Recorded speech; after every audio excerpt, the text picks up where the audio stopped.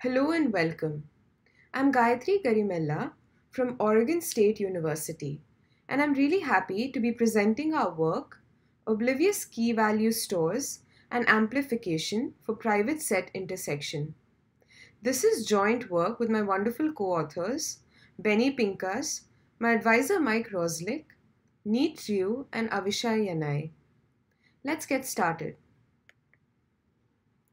In private set intersection, Alice and Bob each have a private set of items as input. They can use the PSI protocol to learn items they have in common. Here, Bob, who learns the output, learns the intersection items, namely letters T, A, and L, and learns nothing else about Alice's set. In a large number of PSI protocols, you encounter the following scenario. Alice has a function f. For most keys, she doesn't care what this function evaluates to. For a small number of keys, she wishes to convey a specially crafted random value to Bob.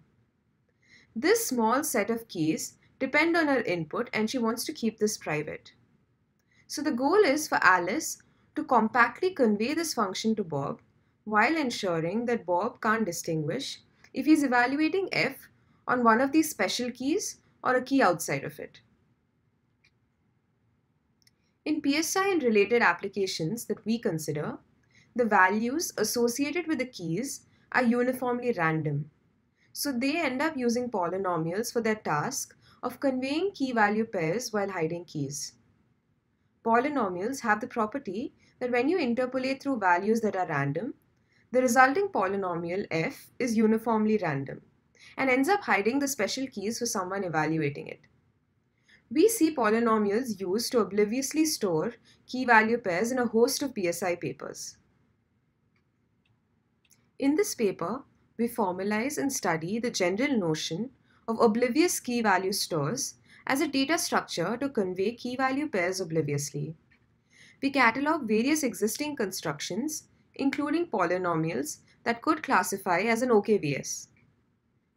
In particular, in the PSI context, we looked at the Paxos data structure, uh, which was used to build the most efficient malicious secure PSI in PRTY20.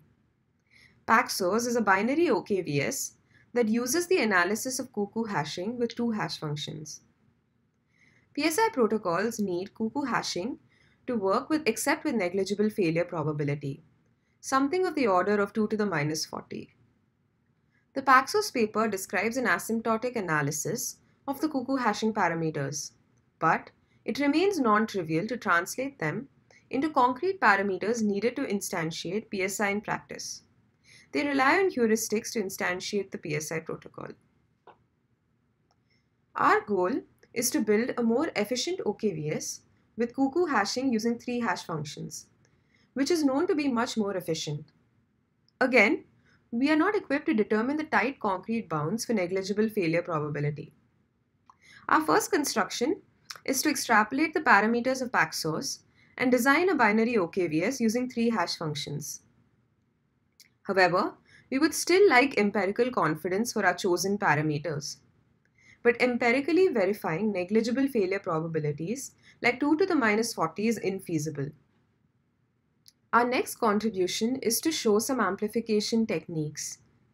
Note that we can easily measure failure probabilities of the order 2 to the minus 15 even on our personal laptops. We design methods to use an OKVS with a fairly large probability and convert it into an OKVS with negligible error. So for, so for some constant C, we show how to compose OKVS with error P into an OKVS with error P to the C with minimal overhead. Thus, we're provably amplifying the failure probability of an empirically verified OKVS. This allows us to choose our concrete parameters for our OKVS with cuckoo hashing with three hash functions. Finally, we show that our improved OKVS gives us the fastest malicious two-party PSI protocol on slow and medium networks by plugging in our better OKVS into the construction of PRTY20. And we also show many applications where OKVS can be a plug-in replacement for polynomials to improve their efficiency. Given a set of n key value pairs, we can encode them into an object S. Later, we can use this data structure S to retrieve our key value pairs. If we probe or call the decode function on any of the special keys, it returns the correct associated value. If we probe S on keys outside the set, we learn some value that we don't care about. When the associated values are random, you cannot distinguish if you probe the object S on an encoded key or some other key outside the set. This makes the key value store oblivious. Let's look at some properties of an OKVS. Given an OKVS S, the first thing that we're interested in is that we want to compactly encode the n key values. So if the OKVS has a size m, then we want m to be as close to n as possible. We can represent the encoding and decoding of an OKVS in terms of this matrix multiplication. During encoding, we need to determine what each of the rows of the matrix K are. Each row is associated with one key. Then, we need to solve for vector S and a multiplication of K times S will be the decoding that gives us the set of values that we're looking for. So it's useful to have some link. So if the values of the OKVS belong to some field and the matrix K consists of the elements of the same field, we end up with a vector S, uh, which is our OKVS, which consists of M field elements. A special case of the linear OKVS is a binary OKVS. Here, we restrict that the elements of matrix K consists of binary values of 0 and 1. Now, let's look at some existing examples of an OKVS. Our first example is a polynomial. So we can encode a set of n key value pairs into a polynomial say S that satisfies the constraints of these key value pairs. That is, if you evaluate this polynomial on key k1, then the result of the polynomial evaluation is value 1. To be explicit, the coefficients of this polynomial form the OKVS. And we can represent the OKVS encoding and decoding in terms of this matrix multiplication. To decode a specific key, we look at the row in matrix K associated with that key. We can obtain the right value for that key by computing the dot product of the associated row and the OKVS S. What are the efficiency measures of a polynomial? Polynomials are optimal size. So if we encode n key value pairs, then we obtain n coefficients of the polynomial. However, polynomials have the drawback that the encoding and decoding time for n values requires order n log square n field operations. The next example is the binary OKVS Paxos which is also a starting point to build a more efficient OKVS. Paxos has hash functions h1 and h2 as its parameters. I will present a simplified version and start by showing how to decode or probe a value from S. For a key A, we look at position given by both the hash functions, namely h1 of A, which is 5 in this case, and h2 of A, which is 1 we can decode by computing the XOR of the values that are stored in these positions. So we decode A, uh, so decode of A would be S1 XOR S5. We know that Paxos needs to encode a set of keys. So how do we encode many such keys while ensuring that each of them decodes correctly? I will show a simple example. Suppose you have to encode four keys A, B, C, D we use a method called peel then fill. First, we compute the hashes h1 and h2 of all the keys A, B, C, and D. Next, we recursively identify slots that are constrained by just one key. So here we can see that position 2 is constrained by key C and position 3 is also constrained by just one key, which is key B. So when we have multiple options, we can arbitrarily um,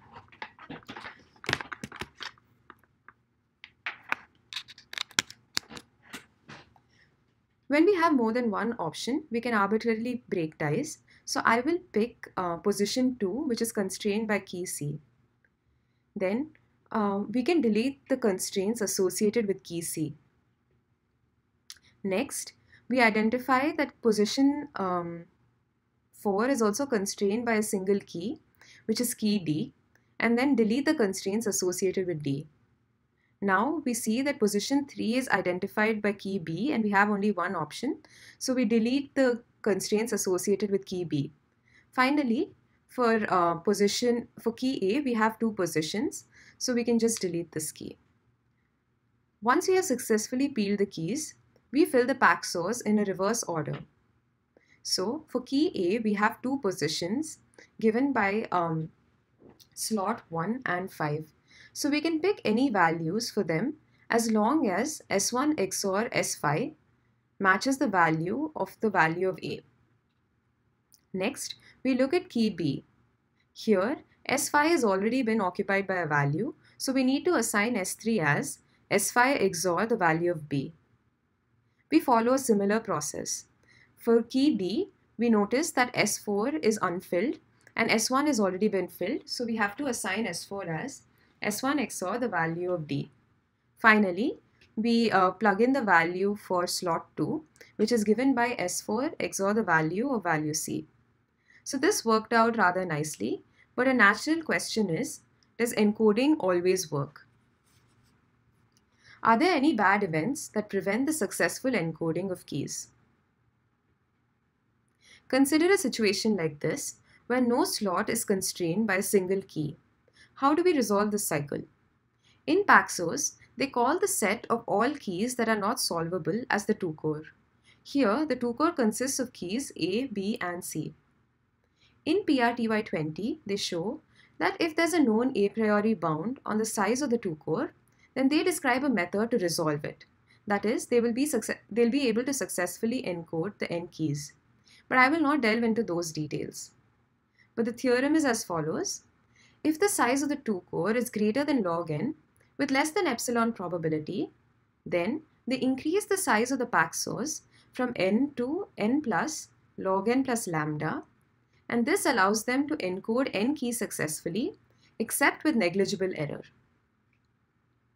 To reiterate, the only bad event that happens while encoding is when the Paxos 2-core overflows. That is, the size of the 2-core is a greater than the expected size of log n and this happens with negligible probability.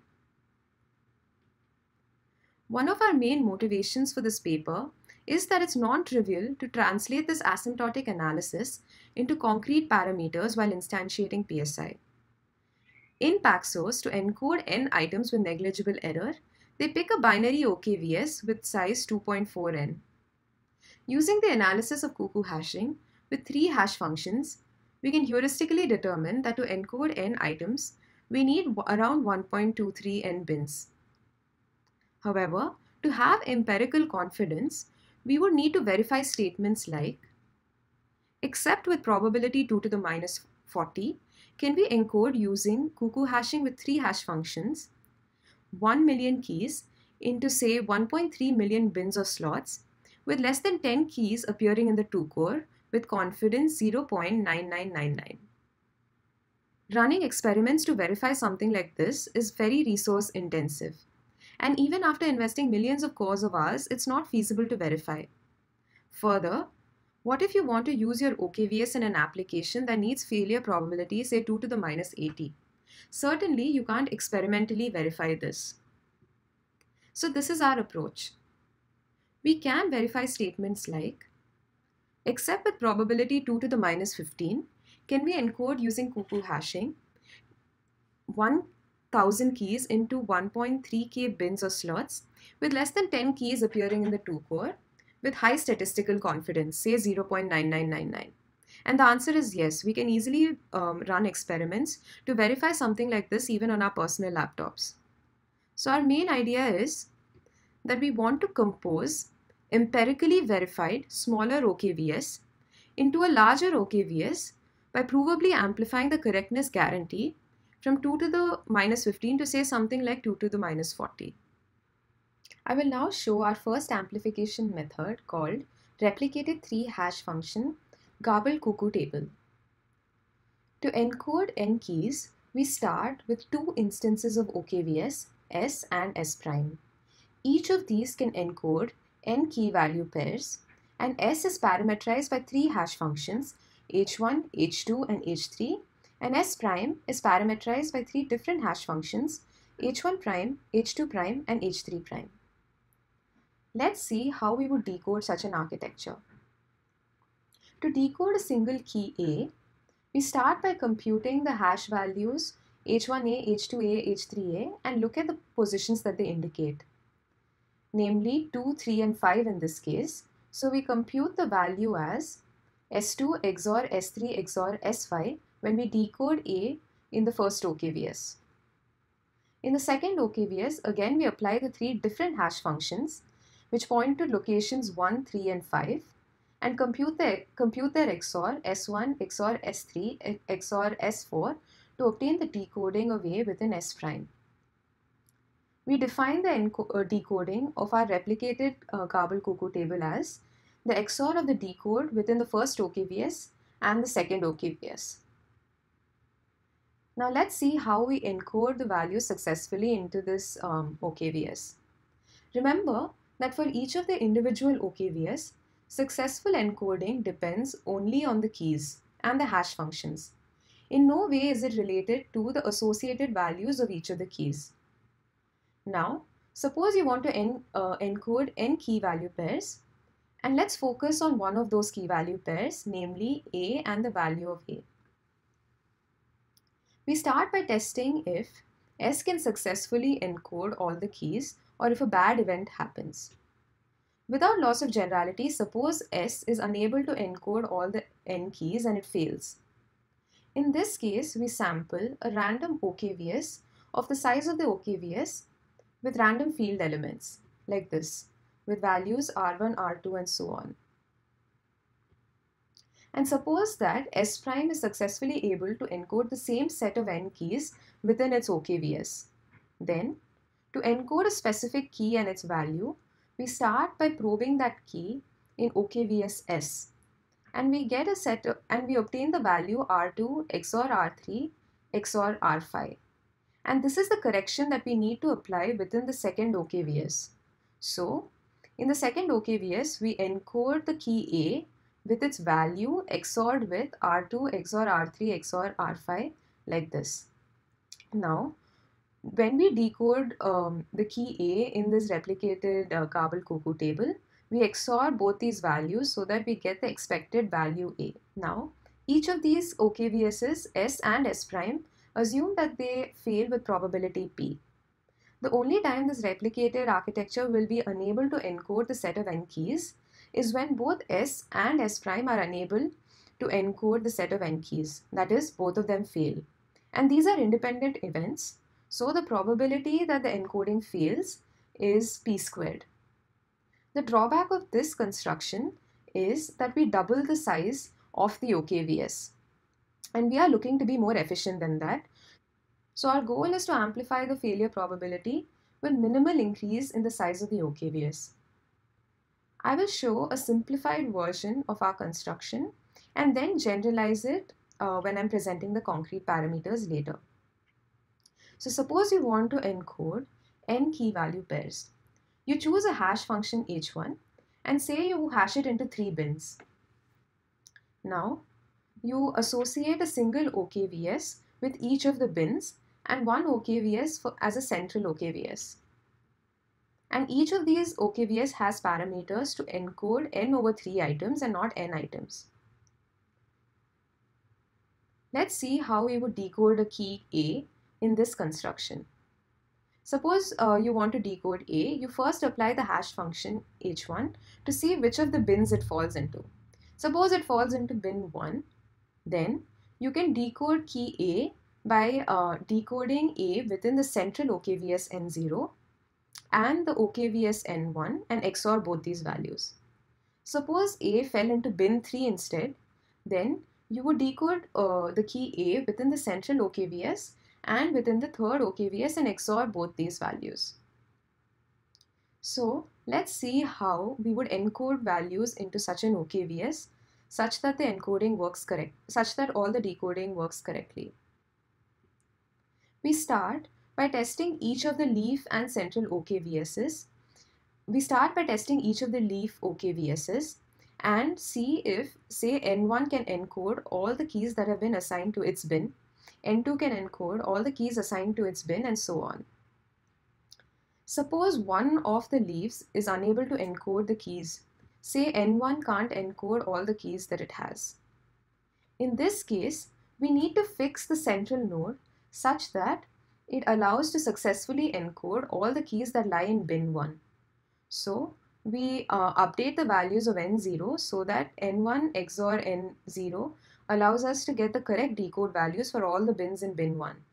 Since N2 and N3 can successfully encode their keys, they just adjust their values according to this OKVS N0. Similarly, if only N3 failed, then you can decode, you first fix the central node N0 to decode correctly all the keys that lie in bin 3. And then once the central OKVS is fixed, N1 and N2 can successfully encode all the keys in their bin. If N1, N2 and N3 can successfully encode, you just pick a random OKVS for N0 and adjust the values of N1, N2 and N3 so that when you decode, you get the expected value for each key. If only one leaf fails, say N1, then you adjust N0 to match N1 and then you adjust N2 and N3 to match N0. So the bad event is when two or more nodes fail. Assume, let's calculate the probability of this bad event occurring. If each of these individual nodes fails with probability p, then we compute the probability as a summation of the of more than two nodes failing. And uh, this almost squares the failure probability. Now, I will show the concrete parameters that we obtained for our OKVS that can encode a million key value pairs. We had Q bins where Q is 160 and by standard balls and bins analysis, we obtain that each of the bins has maximum load 7163 keys, except with negligible probability. So each of the OKVS leaves and the central OKVS needs to encode 7163 keys each. We plug this into our uh, formula to compute the OKVS for a 3-hash garbled cuckoo table and we found that we need an OKVS of size 8622. We ran empirical experiments and saw that only one bad event occurred in 2 to the 23 runs of the small OKVS, each which holds 7163 keys each, and each of them was parameterized by different random hash functions. And we saw that the probability that an encode fails was 2 to the minus 29.35 with confidence level 0.999. We obtain that the probability that encoding a million items fails is 2 to the minus 45.05 which is negligible. And our encoding time was around 2.915 seconds and the decoding time for all the million items was 1.625 seconds and the size of the OKVS was Q plus 1 times the size of each of the smaller OKVSs, which was around 1.38 times million. In our paper, we describe many applications or use cases for our OKVS construction. Our 3-hash garbled cuckoo table construction with a star architecture can replace any random encoding task we can replace the use of polynomials in the following use cases. The first one is the sparse OT extension, which was used to design a communication efficient semi-honest PSI protocol in PRTY19. One of their construction relies on the interpolation of a large polynomial, and our OKVS can replace this. Oblivious programmable PRFs are an important building block in many PSI constructions. Many OPRFs rely again on the use of a polynomial to encode key value pairs, and we can replace the uh, use of polynomials by our OKVS. OPPRFs are used to build circuit PSI protocols. They are also used, they were also used to design the private set union protocol in KRTW19 and they also form a major building block for multi-party private set intersection protocols, uh, described in the paper KMPRT 17. While exploring the multi-party PSI um, protocols in KMPRT 17, we realized that one of their constructions, which is augmented semi-honest secure, is actually efficient against malicious adversaries with a small modification.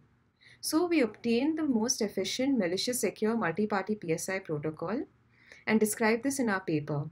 We show a qualitative analysis of why this is the most efficient protocol to date. Our OKVS can also replace the role of Paxos in the following papers. As a flagship example, we consider the OT-based Paxos PSI protocol that was presented in PRTY 20. By replacing the Paxos with our OKVS, we obtain the fastest malicious two-party PSI protocol to date, with the added advantage that this is empirically verified. We also present a new PSI uh, protocol by generalizing the OT-based Paxos PSI protocol to admit a linear OKVS. We show that we, we obtain a new vector OLE based OKVS PSI protocol. Concurrently, in RS21, they showed a vector OLE Paxos PSI protocol, and we suggest that you can replace the OKVS in there. We can we suggest that you can replace the Paxos by OKVS in their paper as well. Finally, I'd like to provide some takeaways from our experimental results.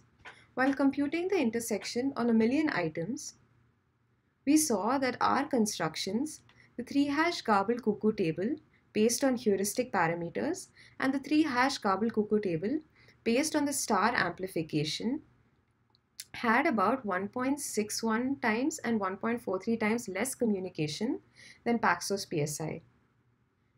This means that on slow and medium networks, we have the fastest malicious secure PSI protocol. And on slow networks, we have the fastest semi-honest PSI protocol. With that, I would like to thank you for your attention.